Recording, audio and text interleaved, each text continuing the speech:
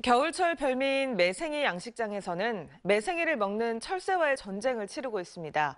급기야 철새 퇴치기까지 개발돼 현장에 투입되고 있습니다. 김윤 기자가 취재했습니다. 완도군 고금도 앞바다에 자리 잡은 매생이 양식장입니다. 전국 매생이 생산량의 40%가량을 차지하는 이 지역의 최대 불청객은 철새입니다. 양식장 곳곳에 자리 잡은 철새들이 물이 빠지면 매생이를 따먹고 있어 어민들의 마음이 타들어가고 있습니다. 어민들이 실제 안 지키면은 많이 손실이 많이 있죠. 어느 정도나 심해요? 10% 내지 15%는 철새들이 많이 먹습니다.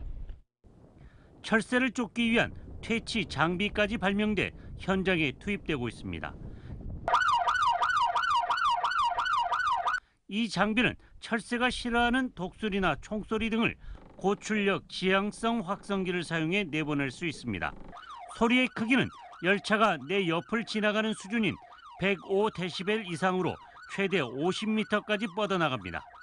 그 조사를 바탕으로 해서 해양수산부에서 국비를 지원받아서 연구를 개- 연구 개발을 하죠. 그래서 그 연구를 실제로 애로사항을 해결하는데 이용을 하고 그리고 이제 현장에 정말 그 연구 결과가 적용될 수 있도록 매생이 철새 퇴치 장비는 앞으로 김 양식장과 꼬막 양식장 등에도 확대 적용할 수 있어 양식장 철새 퇴치에 한 몫을 할 것으로 보입니다.